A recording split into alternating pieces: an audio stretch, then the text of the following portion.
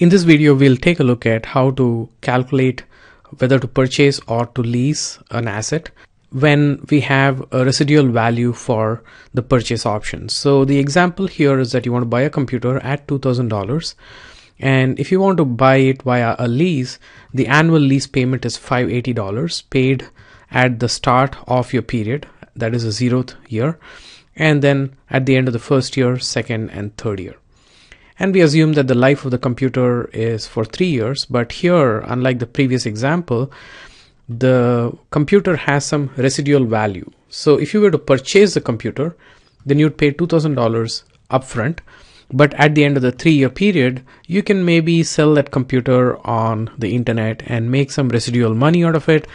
So you have a $400 income at the end. So just notice the sign in the case of the purchase option you pay 2000 so the sign is plus and at the end you receive $400 so the sign is minus. In the case of the lease option you just pay $580 at the start of the period and $580 at the end of every year thereafter for 3 years. And the annual interest rate that you're facing is 10% so this is the interest rate at which you can borrow from your bank and this will be your cost of capital for evaluating the purchase versus the lease option.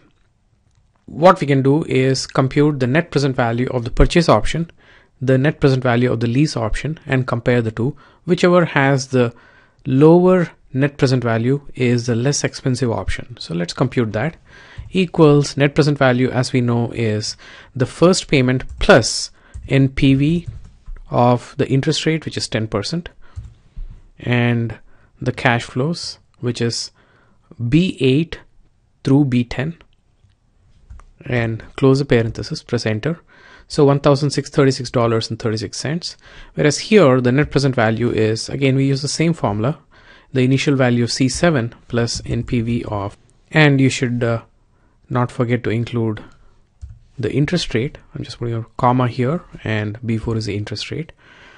If not it'll complain. So here we are with uh, the net present value for the purchase option and the lease option. And now we can have an if function.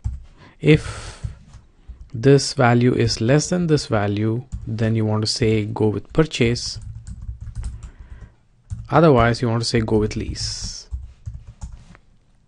So right now the purchase option is more attractive. Its net present value is less. So that means the money out of your pocket adjusted for the time value of money is $1,636.36 if you go with purchase but it is $2,022.37 if you go with lease. So you should go with purchase.